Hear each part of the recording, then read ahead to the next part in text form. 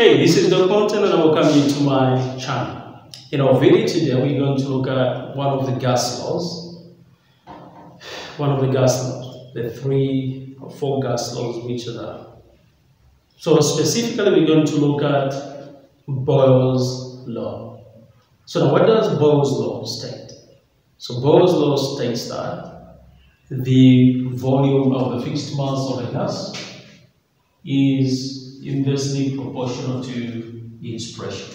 So mathematically and symbolically, that's how we actually show the, the relationship.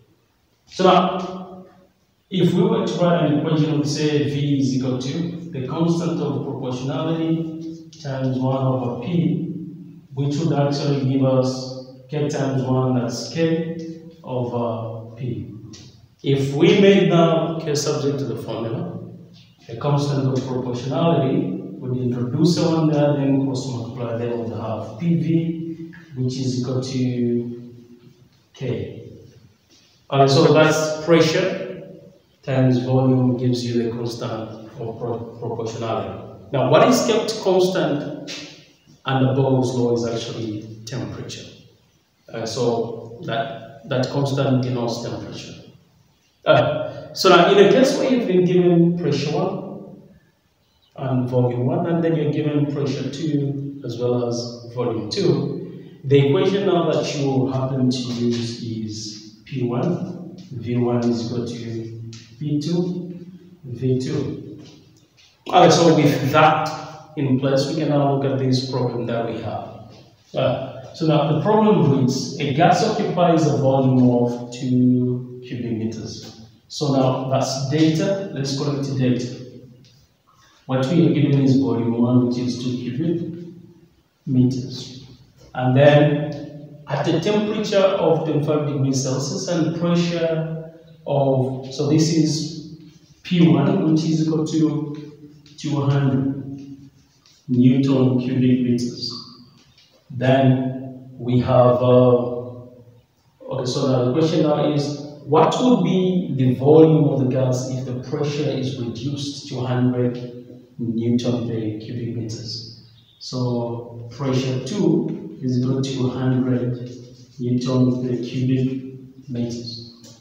What they want us to resolve here is volume 2. So if the, the pressure reduced, then we expect volume to increase. So now what, what formula are we going to make use of? The second one. So P1, V1 is equal to P2, V2.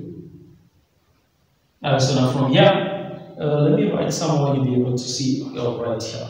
So we simply plug in the values. So pressure 1 is equal to 200, then volume 1 is equal to 2, which is equal to, then pressure 2 is equal to 100, and volume 2 hasn't been given, so we write it the way it is.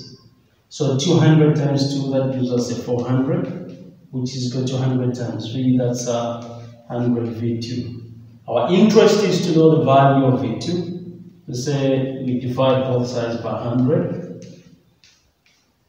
So we can say, therefore, here we're going to remain with V2. So V2 is equal to 0 zeros out.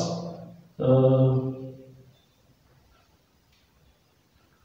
1 into 4, that's actually 4 cubic meters. So we found, we, we've actually found the value of this, the secondary volume. So friends, that's how we do it. As simple as that. If you like the video, smash the like button. Don't forget to subscribe and turn on the notification bell so that anytime I post a video, you happen to be alerted. Thank you so much.